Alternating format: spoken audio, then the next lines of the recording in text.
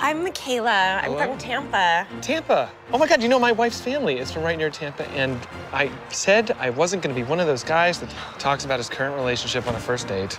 Ugh. No, it's okay. Okay, great. Oh.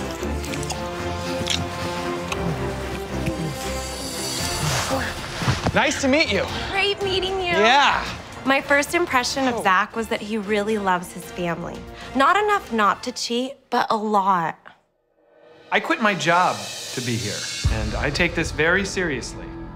I'm here for the right reason, and that is to find the one person that I can spend the rest of my life with when my wife is not around. So cheers. Okay, and the first impression motel key goes to.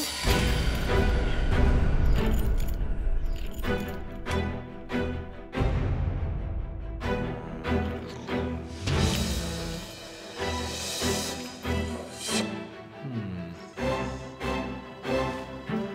Mi- Michela? Micha- Micha- Michaela? Michaela? Michaela. Michaela. Okay.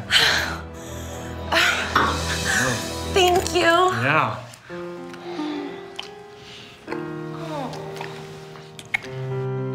I can tell he's a really, really great person. He would never cheat on the girl that he's cheating on his wife with. He's just not that type of guy. Oh my God. I just had the most amazing one on one date with Zach. He told me that he only cheats with one person at a time. He's just old fashioned that way. True. My overnight date with Zach was amazing. I did have to stay in another room because he was there with his family. But during the day, I could totally see him playing with his family in the pool.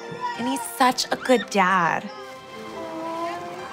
But then Zach came and saw me at 1 a.m. after his family fell asleep, and it was amazing. I think I'm falling in love with you. Cool.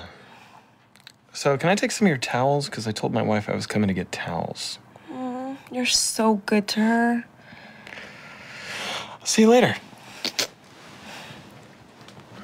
Love you. Okay.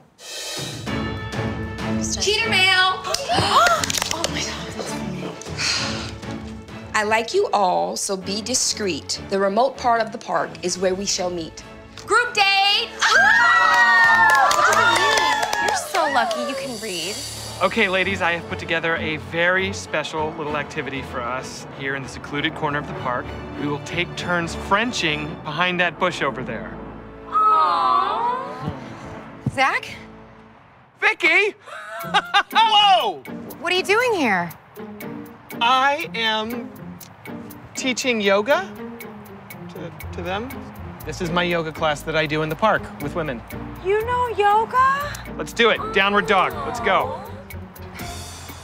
So, Vicky didn't believe that I was a yoga instructor because she is incapable of trusting anybody. I don't know if she has dad issues or something. But if she can't trust me, I can't trust this relationship. So I have decided to move into Cheater Mansion. Things are just really effed up for me right now. And I have realized that I just need one woman to be my rock. And I would very much like for you to be that rock, Michaela.